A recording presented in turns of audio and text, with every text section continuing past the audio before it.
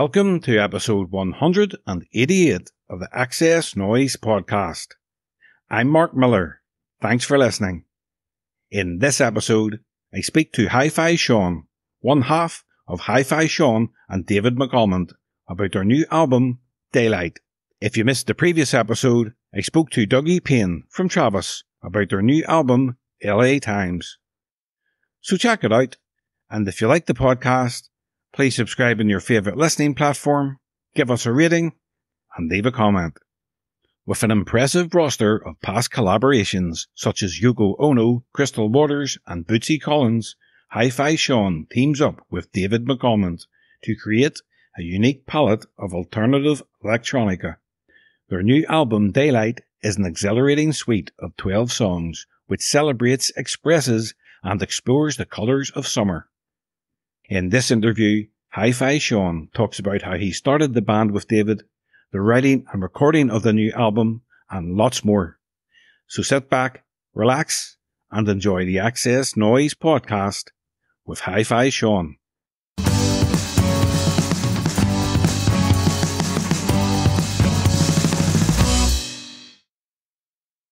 So, hi Sean, welcome to the XS Noize podcast. Uh, hi there, how you doing? Very good. I like to go back to the start. Can you remember the first band or artist that made you pay attention to music? Um, wow, I can like I always tell a story where I grew up in Bellshill, which is just outside Glasgow. Uh, my local barber was also a record shop, so my dad used to buy me records to get my hair cut. So they bought me a little record player, and they worked out if they buy me records every time I went get my hair cut, I'd get a record. So hmm. I, my dad liked me having short hair. So um, yeah, so uh, I, I, I, had a lot of records, but were obviously their musical tastes that I grew up with, you know. And one of the first records I remember is "Get It On" by T Rex, and I'm a huge T Rex fan, so they made the right choice there. Yeah, great band, great band. Yeah, my dad always played T Rex in the house growing up, so that's how I know them great thing about T Rex and a lot, a lot of people uh, give them credit for is how you know how they laid down really solid grooves. I mean, they're great mm-hmm. dance records. Get it on. It's just got this backbeat that just keeps going, you know. So, you know, I love. I mean, I suppose that's kind of influenced what I do. I love things with a great backbeat and a great solid groove all the way through. So, yeah, T Rex T Rex were funky to my five year old ears. Yourself and David McAlmont are going to put out your second album in August, Daylight. What was the initial spark that led to your collaboration? How did you both meet and decide to work together? So about six or seven years ago, I made an album called FT, which stands for featuring a lot of people ask me sometimes, what does it stand for? And it's like, it's obvious what it stands for. somebody, somebody actually asked me once, why did you call your album Financial Times? And I'm like, are you serious? but anyway, I made this album FT because I hadn't made an album for about 15 years, cut a long story short. So the concept I had was I didn't have much confidence in myself. And I thought, what if I work with somebody else on every track, different people? And um, there's people like, uh, you know, uh, Crystal Waters, we done Testify, and um, Yoko Ono and Fred from the B 52s. But one of those people were David. Um, and I was just looking, I was looking through my record collection, trying to think of people who were unique to themselves and unlike anybody else. And the album's made up of people like that, like, you know, Alan Vega and Billie Ray Martin, etc., etc. And um, so David came up, the idea of David came up. I'd never met David before. Uh, the first time we met was the day he recorded that vocal on the track in Brixton, where he lives. And we became friends, basically. We ended up hanging out after that initial meeting. It wasn't just like, right, bang, here's a, here's a track, bye. But we just ended up hanging out. He was coming to my DJ gigs. I was going to his kind of uh, his shows and and I ended up we started recording some songs just out of fun um, through kind of drunken conversations about Prince productions and things. We ended up recording some songs in my my little home studio, and um, we realised that we were really enjoying that. And then I was like, "Do you know something? We've got two tracks that are really good. If we made another ten, we would have an album." And he said, "Well, you asking me? Do you want to make an album?" I went, "Yeah, let's make an album." And he said, "Okay." And that's how Hi-Fi Sean and David McAlmont started, which is kind of nice because it's kind of the way when you're really young how you start a band. You hang out with friends, you talk about music, and you end up being in a band. So it was the exact same thing, which was lovely. It wasn't like a it wasn't a contract on paper. Hey, let's you know, let's do this. It was more just it was completely bred through friendship. Yeah, and that album was Happy Ending, your your debut album, and there was a fantastic reaction to that album. So so how did that feel? Happy Ending was um, recorded over a few years because we you know, like like you do when you start a band. You you know, with a band, you go in a room and you you jam and you eventually get your sound. So with us, it was an idea of we'll just keep recording until we eventually have stuff that sounds like we have a sound. You know, because we were experimenting different angles and things, and then we started to realise now this is now starting to sound like a body of work. This is what we're about, and um, the Bollywood Orchestra was from myself because I had already worked with Chandru back in the late 90s, uh, who's an amazing Bollywood string arranger in Bangalore. and and I met up with him and said, "Do you want to do this again?" And he said, "I'd love to." And um, he done a completely stunning job on the tracks that he conducted but it was all it was all very low key and it was all made in my studio and mixed in my studio. There was no engineers involved. I mixed it, I recorded it, I engineered it. Um, so we're, we're really proud of that album because it, it sounds it sounds very expensive. it was very expensive. like I always tell people, it was a posh album. That's a posh album. Happy ending. So, what's the process? What's the songwriting process between your, yourself and David? Do you uh, put the music together, and then does David come up with lyrics? How does it work? You know, it kind of works in both ways. We've had things where we've been in the room together and come up with ideas and start jamming on ideas. But more, more recently, we've started doing this thing. We found a kind of way that we work that I will come up with some music at my space, and I send over to David in his space and he starts working on ideas and then he sends it back and we just send it backwards and forwards until we we find uh you know like a kind of place where we both meet and then we get together in the studio and take it from there and David's voice it's just such an amazing voice and, and with your music it's just you know it's, it's fantastic the thing about the thing about David is, it's like people always going about his voice. The thing that people don't realize, David's also an incredible lyricist. You know, yeah, it's, yeah. it's just about, and I've always said this to have a great voice, there's lots and lots of people out there that have great voices, but to have a great voice and a great mind at the same time, and a great mind that knows how to use that voice, that's when you get something special. Yeah, yeah, absolutely.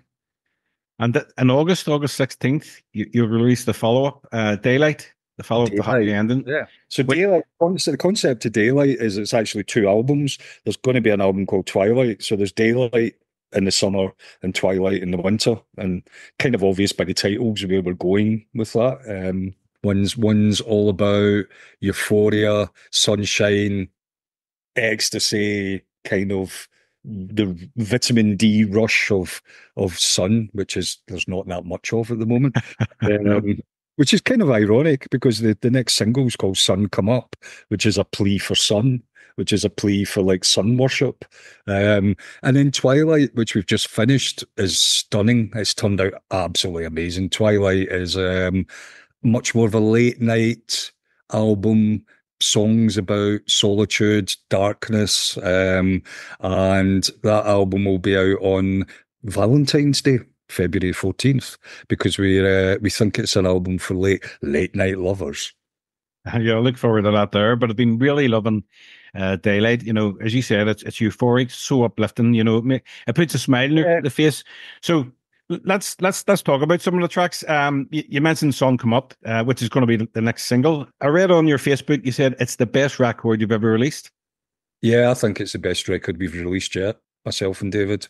I think it's uh, it's kind of the point where we've made a record which has everything we ever wanted out of this collaboration or project, whatever you want to call it. I call it a band. I hate it when there's hmm. only two people in something. They always call it a project or a collaboration. It's not. It's a band. We're a band. It's just like you know, Yazoo are a band. You know, it's like Pet Shop Boys. We're a band. So it's like Erasure. Well, I think the problem with us is, is because we're known as separate artists. So when artists get together, they go collaboration or project, but now we're a band. Um, we just couldn't think of a band name. That was a problem. we come up with someone that were dreadful.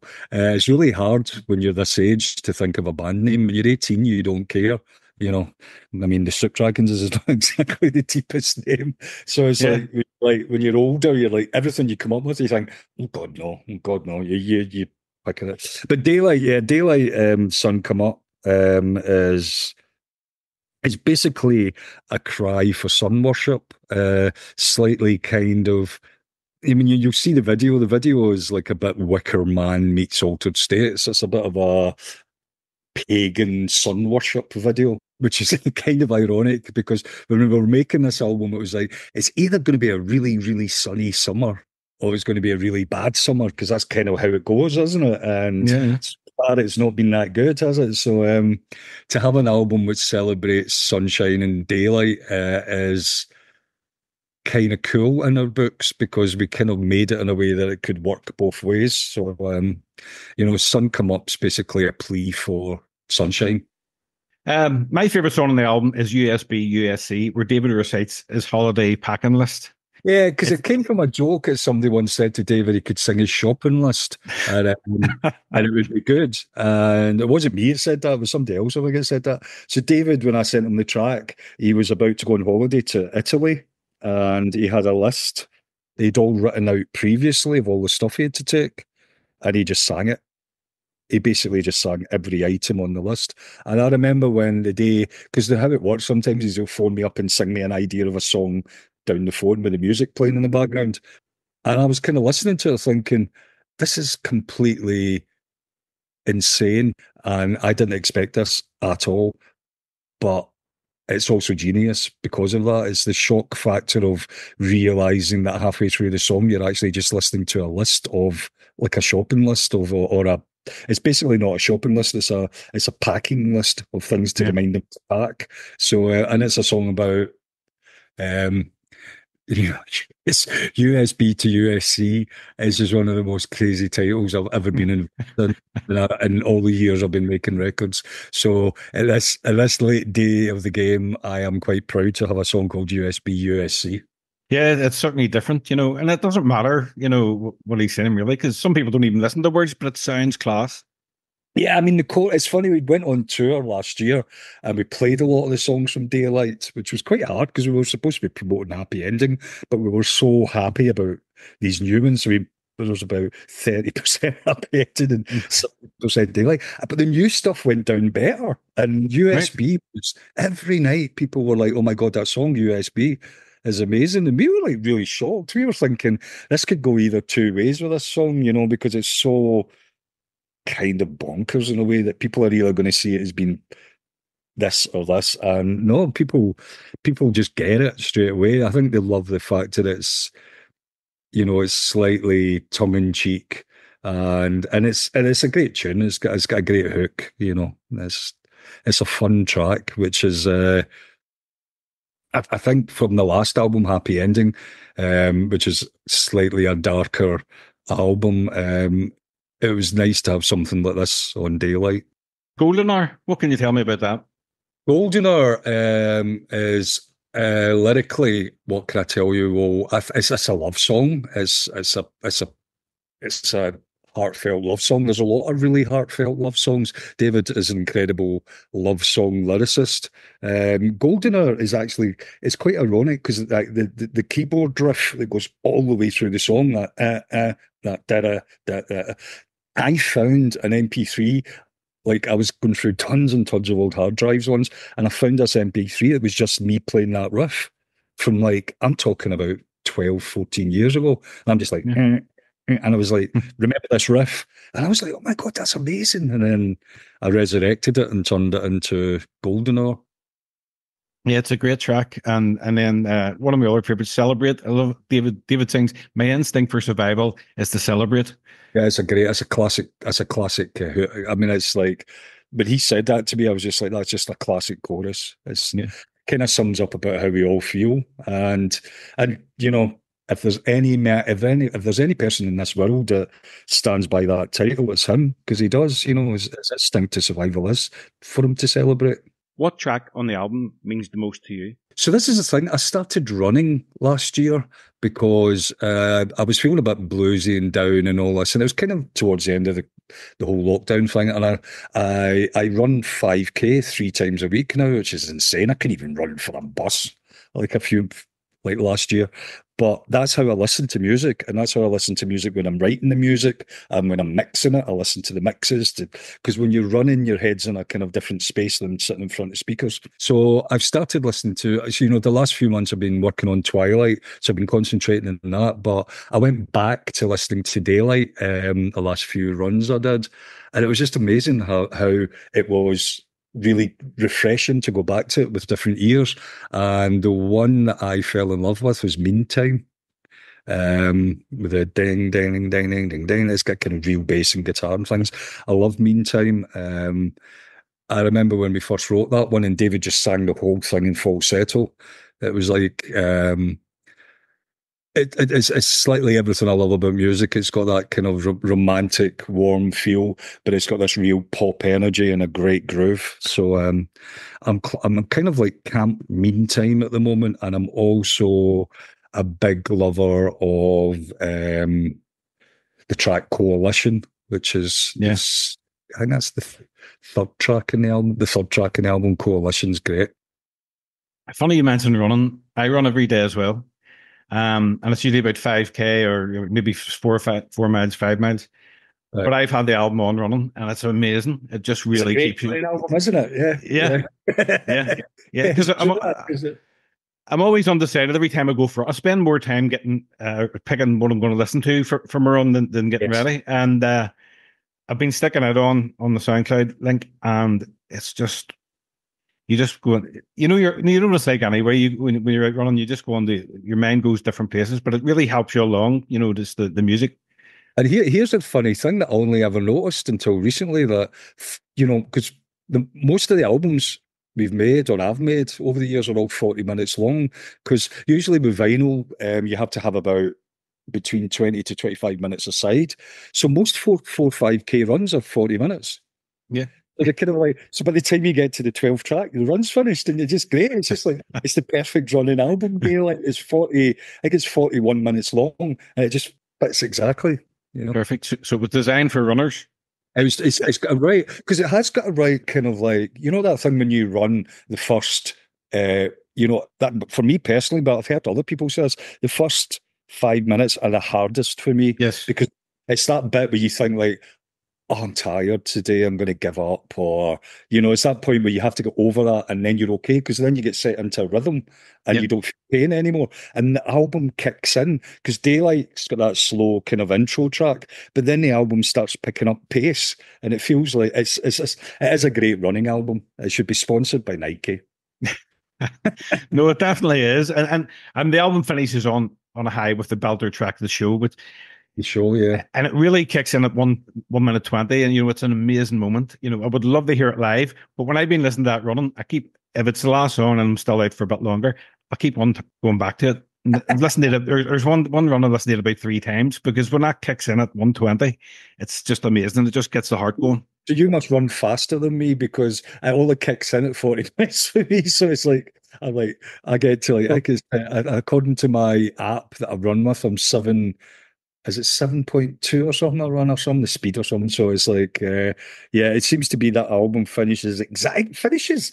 And the weird thing as well, you've heard the album. So, and people who hopefully have heard the album by the time maybe they listen to this, is um, we come up with this idea of having this young child sinks, say, you know, from daylight. Because I had this joke about from daylight becomes twilight, twilight becomes daylight, daylight becomes twilight. And I love the idea of making the album conceptual that when you finish one of the albums, it goes into the next album. And then when you get to the end of that one, you go back to the other one.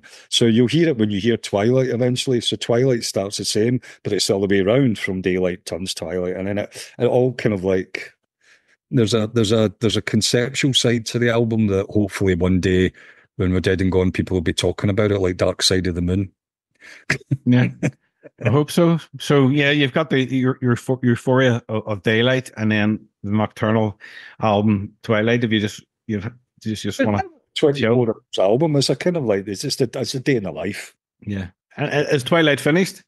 Twilight's completely finished. It's mastered and everything. It's uh, I did I did I can't run 80 minutes. I was going to try. I was like, I wonder if I could run 80 minutes and listen to both. But I listened to Twilight the other day running, which is great because it's exactly 40 minutes again.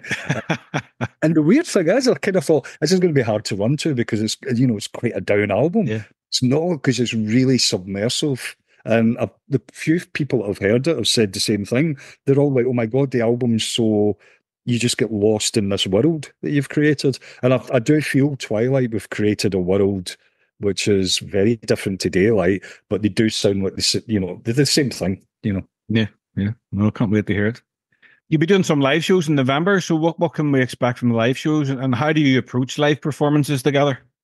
So November, we um, I mean, we're actually doing a show at uh, Jack White out the White Stripes place in London, the Third Man. We're doing that the night before Daylight comes out because we did that before Happy Ending. We played the night before Happy Ending came out at that venue. It's a great venue. Um, the last time we sold it out in four hours, and this time we sold it out in an hour, which is insane.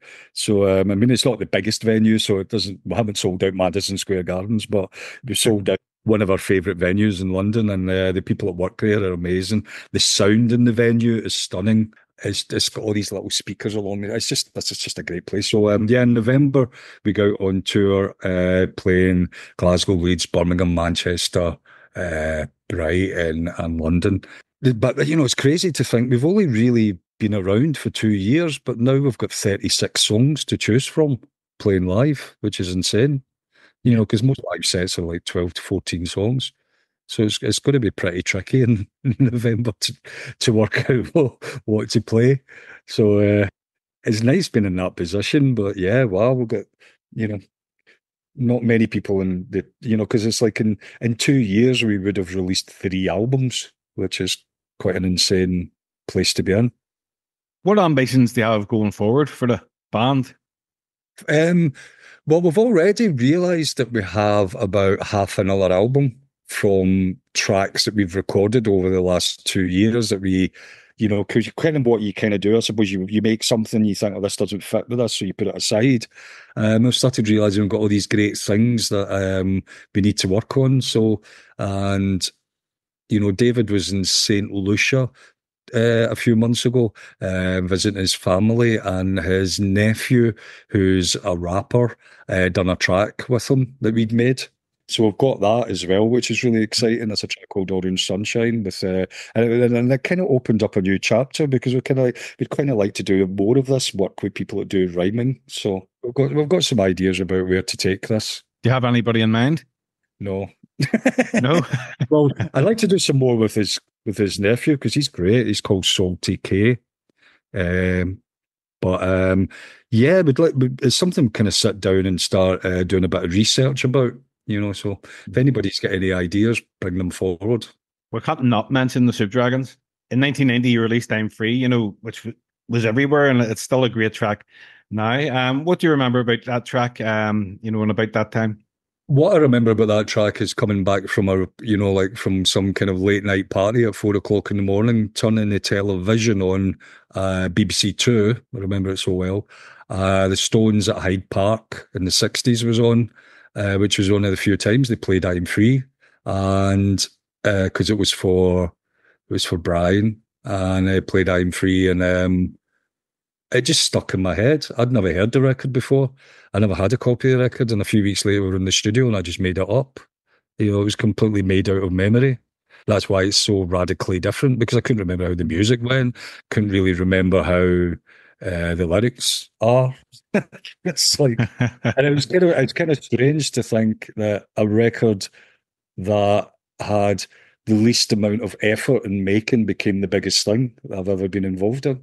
I remember it just being in constant rotation on MTV. Yeah, yeah, it was, it was, it was a great video as well. The video was yeah. very, the video was very based on. Um, I mean, I was always very forward thinking. I liked psychedelia, but I was I got really into working with people who were inventing new ways of visuals that created were were created with computers and technology at the time. In the same way we were like messing about with technology, making the records, and um, I worked like if you ever remember the Love God, the cover, which is fractals. We were one of the first people to use that imagery on videos because we actually worked with the guy who invented that whole situation, which was a guy called Doctor uh, Mandelbrot, and he would give us imagery to use in our record covers and in the the um, the music videos.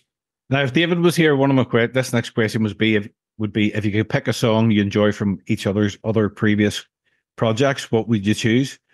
He's obviously not here, so I've got if you could. yeah, if you could pick his. I know that. Well, I know what you might say about me because uh, I know he's a big fan of "Testify," the record I made with Crystal Waters. Um, I've been in track, and it's actually one of my favorite records as well. I've made it's what I just I have so many good memories making that record. And once again, it was a record that took very little effort to make. It just made itself. It's weird, that. Mm-hmm. It's like it's kind of like that I'm free thing, you know. I think sometimes when you don't get too obsessive about something, it becomes something it just grows itself. So um yeah, I, I got a funny feeling David would have said testify. Um me with him, um, I really love the McAlmont Butler song Falling. I think Falling is also wonderful production and wonderful song. And I didn't really know it that much until I saw McAlmont and Butler were playing a good few years ago. And uh, David invited me along and I went along and they played that song live and it just completely blew me away. So uh, that's that's my choice of his catalogue. I like to ask my guests the following questions. For us music fans, music is the soundtrack to our memories. What song or album, when you listen to it, brings back the best memories for you? Um, once again, Get It On by T Rex because it's, it's, it's a song that I've got lots of memories from from different periods of my life. Um, and one of them being was um, the band I was in after the Soup Dragons, the High Fidelity. Uh, we worked with Mickey Finn from T Rex. He mm-hmm. played percussion on our album and became good friends. And he passed away. Um, and at that time, I was DJing at Glasgow Art School. And when he it was he um it was a few months before he passed away when I knew he was ill. He gave me through a friend of a kind of joint friend. He gave me his copy of Get It On because he knew I was such a huge fan, and it was he told me it was one of the first ones off the pressing with you know Mark got Mickey got one and um and the night he passed away we played that record at the club and it was just a really beautiful moment. So uh yeah, I think I think it's it's kind of weird when people say what's your favorite record. I think you you have favorites from different periods of your life, but that's always been one of the the ones that's always been there. So that's why now I just reference that record. It's like there's no point me trying to think of other stuff because it's been there all my life. It's just it's just every time I hear it, it's still on the radio. If I'm in the car, it comes on the radio. It's just like, geez, I mean, how can you not love this record?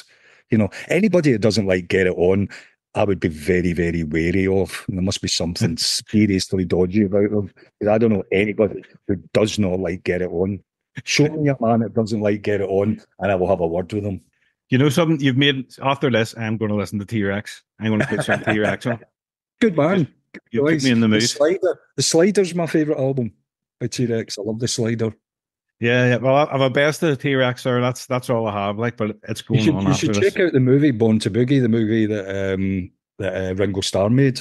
There's this amazing section in the middle where you'll find it on YouTube as well. This clip where uh, Mickey and Mark are sitting with nuns around them eating hamburgers. You know, as you do, and um, they do a few acoustic songs just with a string section and then playing, you know, Mickey's playing bongos and I think, no, no, Mickey's eating a hamburger, but Mark's just playing his acoustic guitar. And it is the most beautiful 15 minutes ever. You have to check it out. So I just, they think they do, um, I think they do the slider as one of the songs and it's just gorgeous.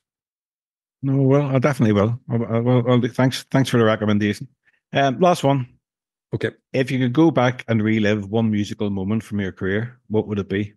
Wow. Um, I don't want to sound big headed or whatever, but we, we, we did we did a tour in the nineties with INXS, which was in huge, crazy like venues.